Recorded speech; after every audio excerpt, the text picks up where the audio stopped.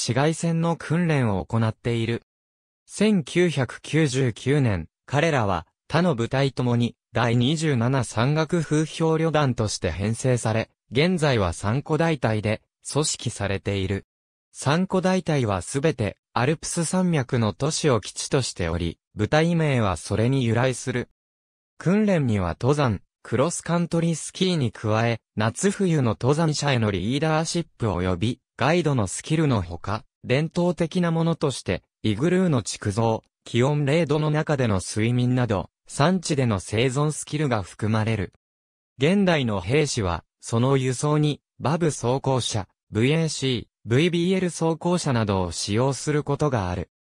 個人装備には、FA、マスアサルトライフル、ミニミ系機関銃、FRF2 狙撃銃、PGMA、カート2大型狙撃銃及びルギーミリー F1 があり、部隊装備には、ブローニング M20 機関銃、LLR81mm 迫撃砲及び 20mm 機関砲、装備車両に加え、AT4、アリックス及び、ミラン対戦車ミサイルがある。両兵は、彼らの、タルトと呼ばれる幅広のベレー帽で容易に見分けることができる。1859年まで、イタリアはまだ統一されておらず、いくつかの王国及び、独立共和国に分裂していたが、同年からのジュゼッペ・ガリバルディ及びカミロ・カブールによる国家統一運動により、状況が変わった。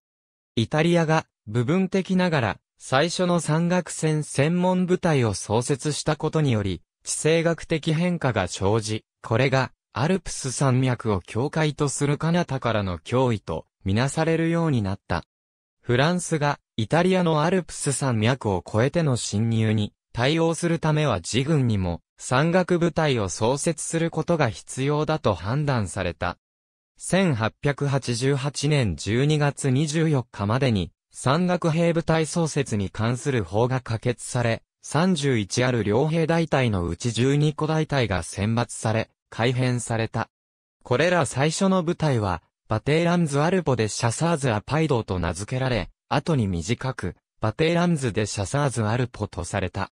補足、騎乗部隊の階級である、 brigadier や maréchal des logis は、アルペン猟兵隊では使用しない。EN、アラン・レレイ、マキの最初の軍事指導者。ありがとうございます。